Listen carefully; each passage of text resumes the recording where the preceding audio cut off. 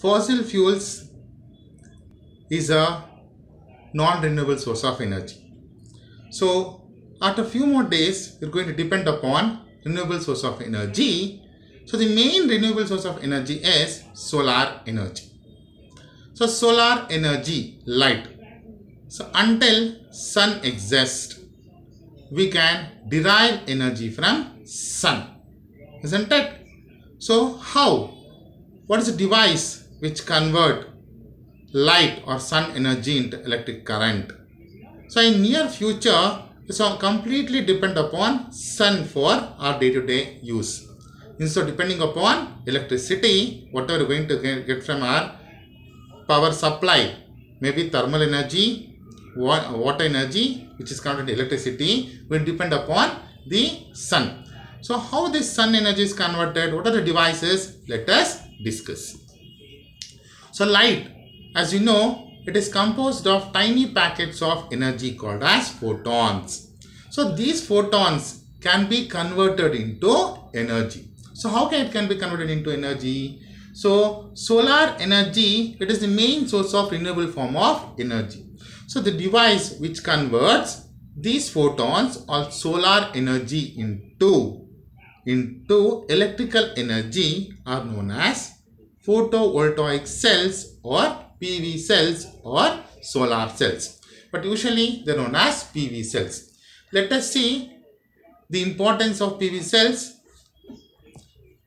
So the solar energy is being unlimited and renewable source of energy. So the PV cells are eco-friendly or the energy obtained from the photovoltaic cells is eco-friendly. PV cells provide power for spacecrafts. So when satellites goes and launches a spacecraft, the function is functioning of this is very very important, isn't it? So how the spacecraft work, even that also required power. We cannot directly uh, give a connection like this from here to this uh, satellite there or spacecraft there, right? Or satellite.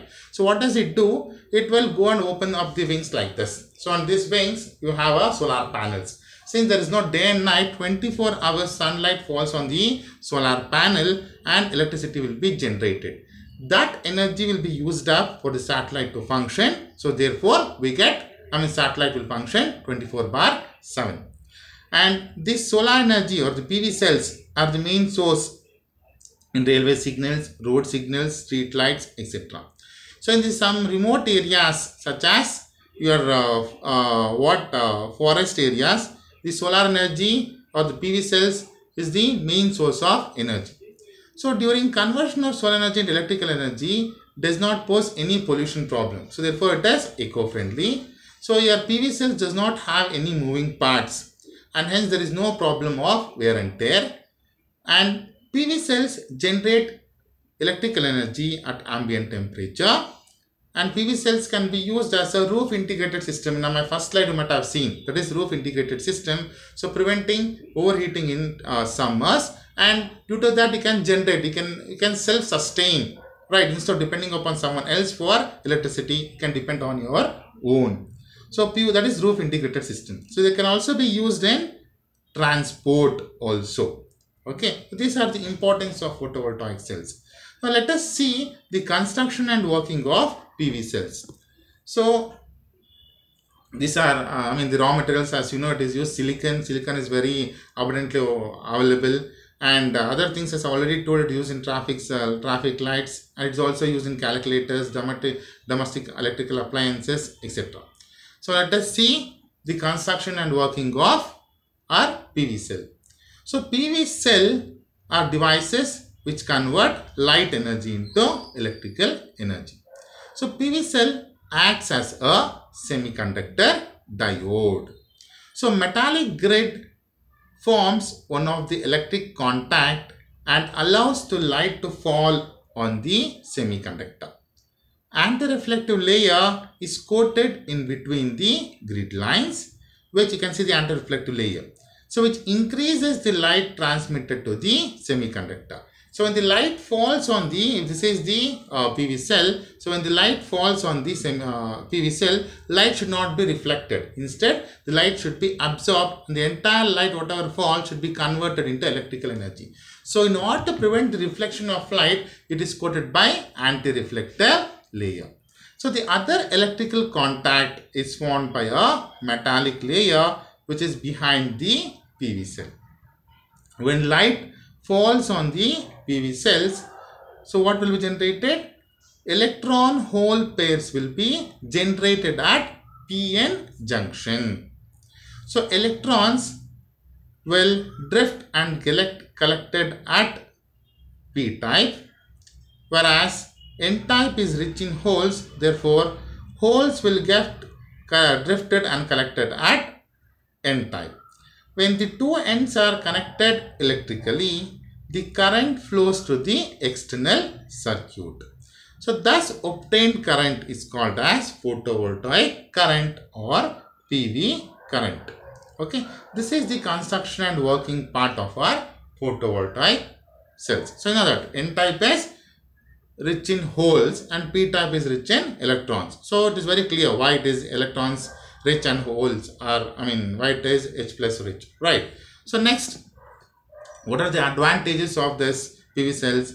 This is environmental friendly, it is eco-friendly, no need of charging, do not corrode, operate at low temperature, no emission, no combustion, high public acceptance and excellent record, low operating cost, no moving parts and no wear and tear.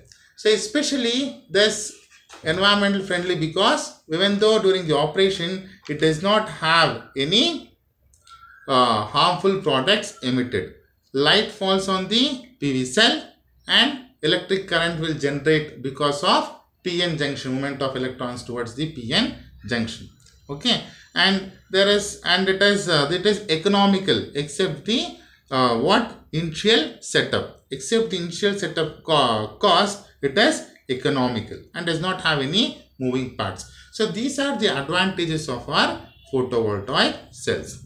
So let us see what are the disadvantages. High installation cost, energy can be produced only during the daytime. So only when sunlight is falling towards the uh, PV cell, we can withdraw the current.